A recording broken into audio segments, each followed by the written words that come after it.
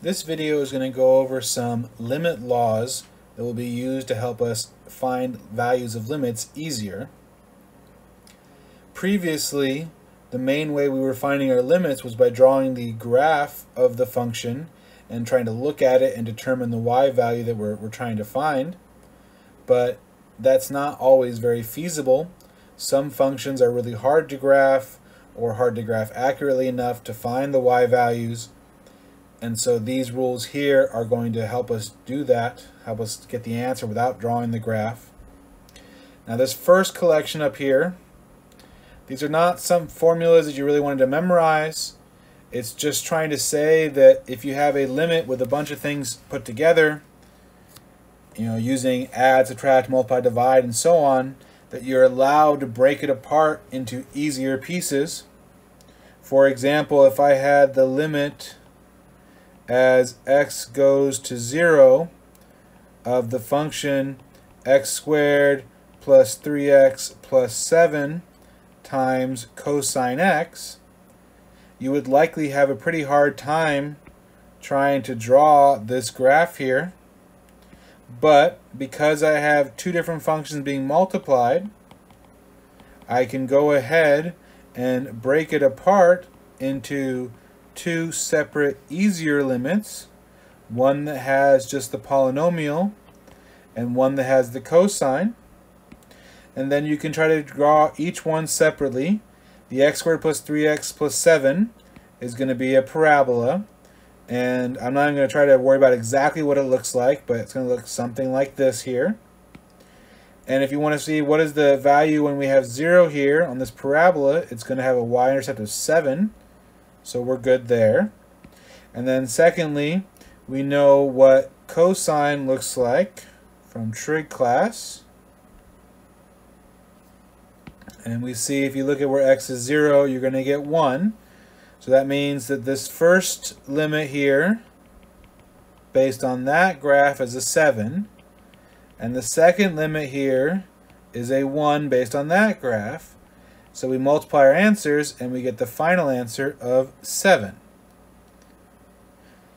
So you see, instead of trying to draw this complicated function over here, we can look at two simpler functions and get our answer. And that uh, was really, really useful here. I do want to point out, though, that you can only break apart, only use these, if the limits actually give an answer. And that might not quite make sense right now, but basically if you try to look at one of the graphs and there's no way to get an answer to the problem, then you can't break it apart. And we're actually going to see an example of that at the end of this video.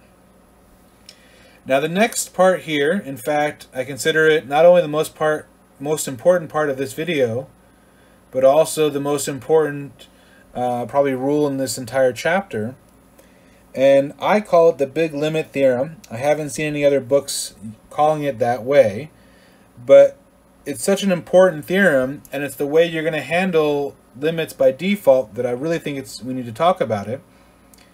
And it says is that if your function is a polynomial, a rational, trigonometric, exponential, logarithmic, or a radical function, or a combination of these things, and you're able to plug in the number and get an answer, then that means that the limit is in fact that answer. So the limit we just worked out here, if I wanted to, instead of breaking it up, say, well, let's skip that whole step. Let's just go ahead and plug in 0 into it. I would have 0 squared plus 3 times 0 plus 7 times cosine of 0, and I'm going to get the right answer.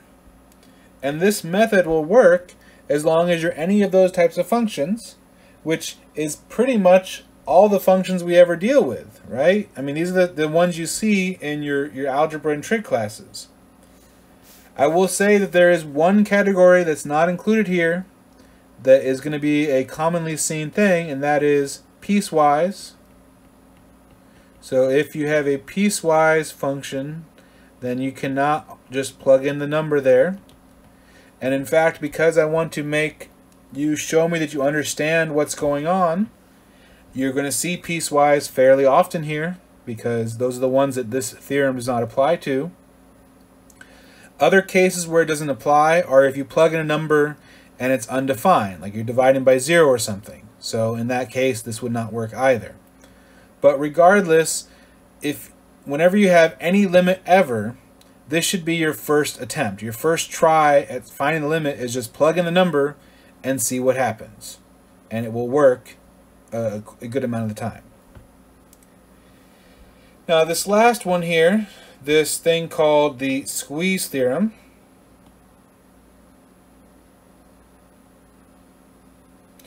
This one is actually you know much less important. We're going to rarely ever use it. But the times that we do use it, it's going to be the only way to find the answer to the problem. Here's an example of that. Let's say I take the limit as x goes to 0 of the function x squared times sine of 1 over x. Now if you try plugging in 0, you're going to have a problem because you cannot divide by 0. This is undefined. So that means the big limit theorem not going to help us. You also cannot break it up by the first limit rules up there because once again, if you try to look at sine of 1 over x on a graph here, you've probably never done that before, and I'll see if I can uh, draw a reasonable graph here. It does something like this. It goes really fast, and then it slows out into a regular sine graph. And so if you ask yourself, well, what's my y value right here in the middle? There's really no way to tell. So you cannot find this limit separately, which means we cannot use that property. As I said, if the individual limits don't work, then you cannot split them up. So let me show you now how to do this with the squeeze theorem. And so the squeeze theorem is a really tricky theorem to use. As I said, we're not going to use it that often.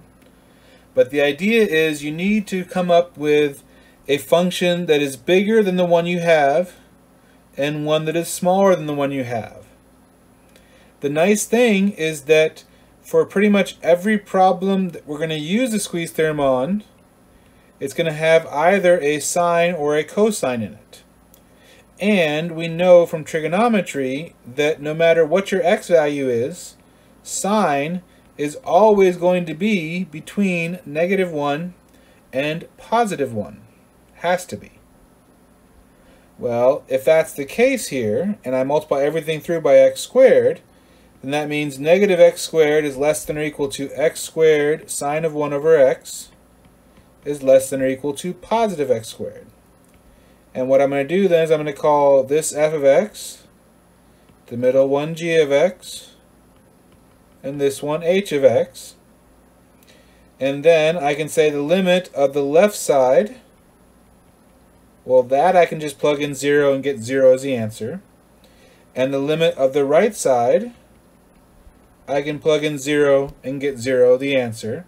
And since the right side and the left side both give me the same answer, 0, that forces, by this squeeze theorem, that forces that the limit of the middle part also has to be 0. And if you want to see what I mean by squeezing here, if you draw the graph of x squared, it's going to look like this.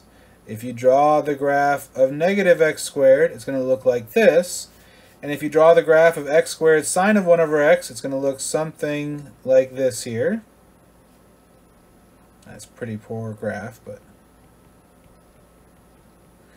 and the idea is that this graph that we're trying to find the y value of, and we're trying to find it right here at x equal to 0, well, you notice that it's always going to be between these two parabolas, and those two parabolas meet right in the middle, and that means that this red thread, if it's going to always be between them, the only way for it to squeeze in in the middle here is if it has the same y value as the top and bottom here.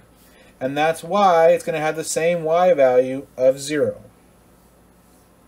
With that said, if you're given a problem, I would have squeeze theorem be my last resort to use. I would try everything else before then because it can be very tricky to use here.